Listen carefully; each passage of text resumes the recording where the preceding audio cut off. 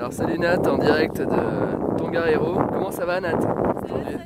Quel temps il fait? Il fait un temps magnifique non Un temps magnifique. Qu'est-ce qu'il y a derrière? On voit un petit volcan, j'ai l'impression. C'est le mont du destin, la montagne du destin, La du Seigneur destin. des Anneaux. C'est ça et euh, quel nom scientifique on lui donne? Euh, le Nanja Tao. Non, perdu.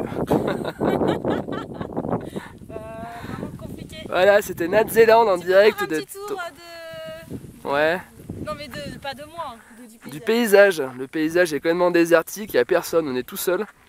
On voulait dormir ici, puis au final il fait un peu frais. C'est bon là. c'est Voilà. C'était Nat Zeland en direct de Tongariro.